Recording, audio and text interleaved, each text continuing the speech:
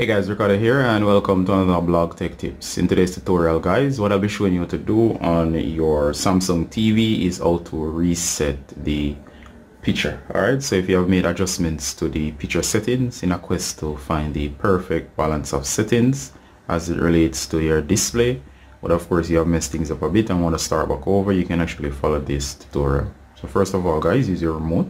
You're going to go over to the option that says settings once you're on the setting option you're going to go down to um, or select the first option that says picture. So go ahead and select picture. From here guys go to expert settings. Once you're in expert settings goes all the way down to the end of the options. And of course once you're at the end of the options you should see the option here that says reset picture.